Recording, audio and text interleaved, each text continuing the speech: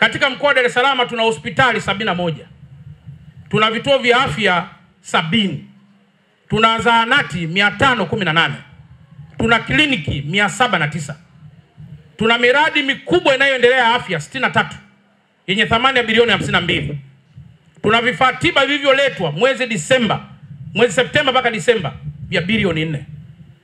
Sasa hoja yangu ya msingi katika hospitali hizi zote na vituo vya afya vyote, asilimia 86 ni vituo na ni hospitali za private za watu binafsi, na ndio maana unakuta Mheshimiwa Naibu Waziri Mkuu hapa juzi ametokea makelele kidogo ya watu binafsi wanaomiliki vituo au sekta au hii huduma ya kutoa huduma za afya, wakitoa hoja kidogo kuhusiana na gharama kubwa za uendeshaji. Ukiangalia kwa logic vizuri watu hawa waliowekeza kwenye sekta ya afya wanakopa pesa benki, na kule benki kumekuwa kuna riba kubwa, na riba hizo sasa walipi wao, ndio wanapelekea mgonjwa ndio aweze kulipa. Na kwa mantikio, mimi pia nilikaa na hawa wanaomiliki vituo vya afya na hospitali, wakaniomba pia kwamba niombe waziri wa afya pamoja na wewe naibu waziri mkuu muweze pia kuwa na wakati muwasikilize, ili muweze pia kuona hoja zao kwa sababu siku wa Kigoma wakasema wanafunga vituo vyao vya afya na huduma hizo, mkoa wa Dar es Salaam bado hatutakuwa na ujanja wa kujitibia kwenye hospitali zetu za umma. Na kwa mantiki hiyo, mchango mkubwa uliofanywa na wenzetu hawa kujenga kituo hiki ni mkubwa, na tuwapigie makofi mengi sana.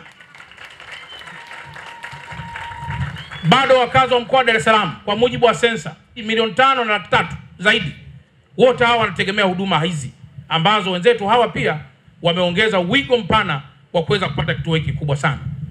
Kwa hiyo Mheshimiwa Naibu Waziri Mkuu, mwaka 2024 na 25 mimi kama mwenyekiti wa kamati ya usalama na wenzangu walioko hapa tumekubali kwamba hatutatumia tena mambo ya mabomu, sijui maji ya kuwasha kama silaha dhidi ya wapiga kura, kama silaha dhidi ya wapinzani. Silaha yetu kubwa, tutaonesha maendeleo haya. Na ndio maana Mheshimiwa Naibu Waziri Mkuu, Mheshimiwa Naibu Waziri Mkuu, mimi nikiamka asubuhi huwa napenda mambo mawili. La kwanza napenda kusali, la pili napenda kukaa kwenye meza na kunywa chai. Lakini wapo watu ambao wakiamka asubuhi huwa wanapenda kujikuna. Nimeshamweleza Mlilo ambaye ni kamishna wa polisi wa kanda, akijidanganya kutumia maji yanayowasha kwa mtu ambaye anatamani kujikuna itakuwa sio adhabu kwake, bali atakuwa ameongezewa chumvi ya kujikuna zaidi kama raha kwake. Kwa hiyo na kuahidi kwa watu wanaotamani kujikuna, dawa yao ipo, ila sio maji yanayowasha. Na baada ya kusema haya, nakukaribisha tena Mheshimiwa Naibu Waziri Mkuu, na Mungu aendelee kupatia nguvu. Dar es Salaam umekwisha tuelekeza, tuendelee kurudishia miundombinu iliyoathirika kwa maji ambayo mvua ilikuwa inanyesha na kwa bahati nzuri kwa muda wote Dar es Salaam hatuna mafuriko. Uongo kweli jamani? Si hatujapata mafuriko, si ndio? Watu wachache wachache wamevamia maji, wamevamia viwanja vinavyomilikiwa na maji, na maji anataka kuishi na wao wanataka kuishi. Kwa hiyo tumejikuta tunaleta mgogoro kati ya maji na watu. Sasa tumeona ngoja, baada ya muda maji kama yatashinda fine, kama watu watashinda, lakini elimu inaendelea kuingia taratibu, na mwakani Mungu inawezekana katusaidia tusiwe tena na mgogoro kati ya maji na wavamizi wa viwanja vya maji. Mkoa wetu wa Dar es Salaam wakati wa kiangazi tunatumia mara nyingi megawati 516 na wakati wa masika tunakwenda mpaka megawati 506 maximum mpaka megawati 507 na, na katika mapato ya TANESCO ya karibu bilioni 150 bilioni 60 mpaka bilioni sabini zinalipwa na wakazi wa mkoa wa Dar es Salaam.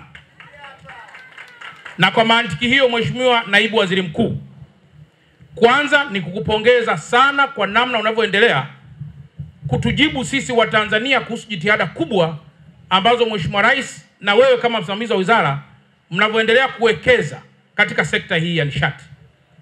Ni ukweli usiopingika kwamba watu wengi wanalalamika kwamba mvua nyingi zilizonyesha bado hazijasababisha kujaa kwa mabwawa ambayo yanazalisha umeme wetu wa chini ya asilimia 35 katika umeme wote unaopatikana katika nchi ya Tanzania.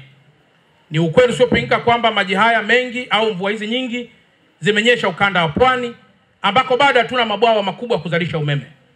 Mabwawa makubwa yanapatikana katika mikoa ya Iringa, mikoa ya Morogoro na kwingineko ambako tunategemea mvua zinyeshe katika mikoa mingine ili maji haya yaweze pia kuingia kwenye ujazo huo na mambo yawe mazuri. Kwa hiyo sisi wananchi wa mkoa wa Dar es Salaam, kwanza tunaamini tunanyang'anyana umeme kuto, kutoka kwenye mkate ule ule, na ndio maana tunakuombea kila la heri. Bwawa lile la Mwalimu Nyerere litakapokwisha, tunaamini sisi wakazi wa mkoa wa Dar es Salaam ambao kikaya kaya zilizounganishwa umeme mkoa wa Dar es Salaam ziko zaidi ya laki tisa na sabini na tatu na ambazo kwa kaya hizo ni nyingi ukilinganisha na zamani. Ndio maana tunakushukuru sana wewe Mheshimiwa Naibu Waziri Mkuu kwa ile mitambo uliofunga pale Kinyerezi, yale matransforma makubwa mawili ya MVA 175 kwa mawili ambayo yanachochea umeme kuingia kwenye gridi ya taifa, yanachochea umeme kwenda kwenye msongo mkubwa wa kilovoti 132 ambao ndio utakontrol na kuleta mambo mazuri ya baadhi ya maeneo kama ya Gongo la Mboto na baadhi ya maeneo mengine. Kwa hiyo kuhusu majawabu yako kwenye sekta ya umeme tunasema inshallah, na Mwenyezi Mungu aendelee kujalia. Tumpigie makofi mengi sana naibu waziri mkuu kwa kazi hiyo kubwa.